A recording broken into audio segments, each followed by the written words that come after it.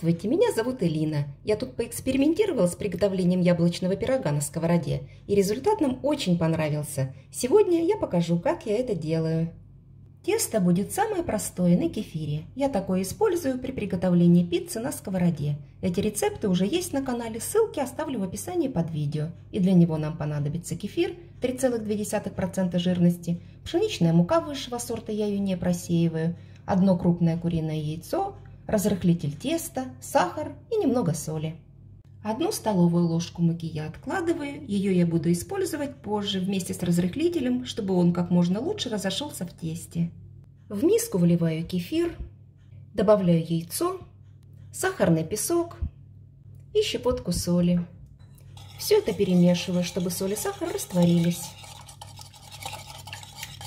После этого всыпаю муку и начинаю замешивать тесто. На этом этапе густота теста должна быть вот такая. Она еще не окончательная, довольно жидкая, и если провести венчиком, то тесто практически сразу смыкается. Оставляю тесто постоять минут на 10, чтобы клейковина муки набухла, а сама занимаюсь начинкой. Хочу обратить внимание, что не каждый сорт яблок подойдет для начинки. Я буду использовать сорт гала, у него мякоть и кожица средней плотности. А вот сорта с плотной мякотью и жесткой кожей, такие как Гренни Смит, Семиренко или Голден, не подойдут. Они в этом пироге останутся сырыми. Яблоко берем небольшого размера, а точное количество продуктов, как всегда, будет в описании. Яблоки сорта Гала очень сладкие, поэтому сахара в начинке нам понадобится совсем немного, всего чайная ложечка. И еще можно взять чуть-чуть корицы. Яблоко я разделила на 4 части. Вырезаю сердцевинку и нарезаю тоненькими пластинками, прямо как можно тоньше. Примерно 2 мм толщиной. Пластинки можно рассортировать на две кучки. Самые красивые пойдут наверх пирога, а похуже, помельче, вниз. Возвращаюсь к тесту, всыпаю отложенную муку, разрыхлитель и перемешиваю до состояния без комочков. Конечно, и густота кефира бывает разной, и количество клейковины в муке тоже, поэтому ориентируемся на консистенцию теста. Вот посмотрите, какая консистенция теста является окончательной. Я сейчас проведу венчиком, видите, оно смыкается не сразу. Готовить пирог я буду в сковородке с толстым дном, диаметр по дну 20 см, и все количество продуктов рассчитано именно на этот размер.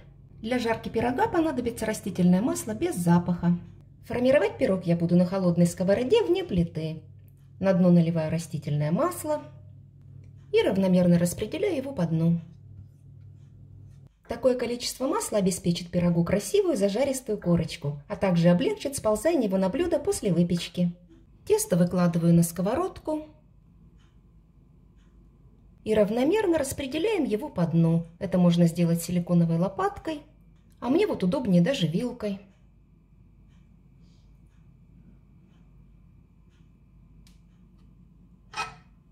Теперь выкладываю яблоки. Первым слоем выкладываю яблочки похуже.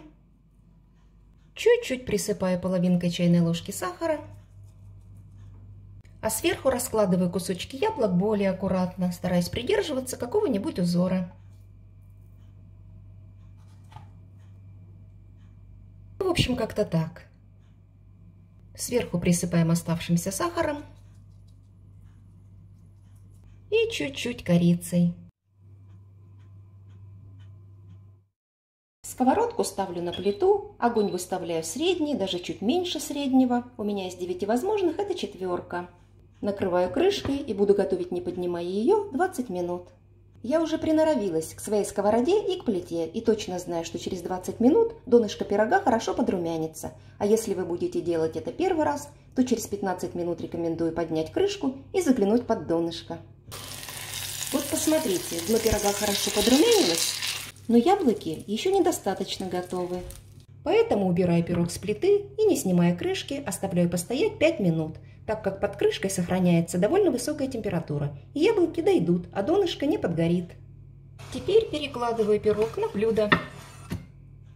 Посмотрите, яблоки теперь полностью готовы, вилка в них входит легко, и в то же время они не потеряли форму. А донышко пирога очень красивое, зажаристое. Этот пирог можно есть теплым, а также дождаться полного остывания.